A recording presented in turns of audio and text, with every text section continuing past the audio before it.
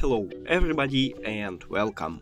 In this video I will show you how to pair your headphones Moto Buds Plus with your PC.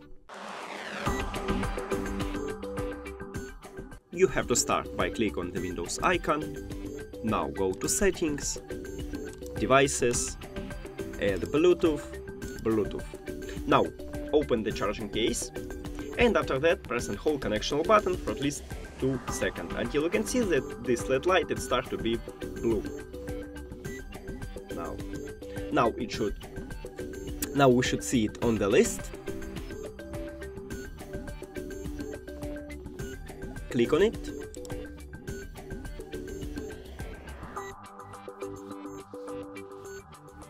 And then done.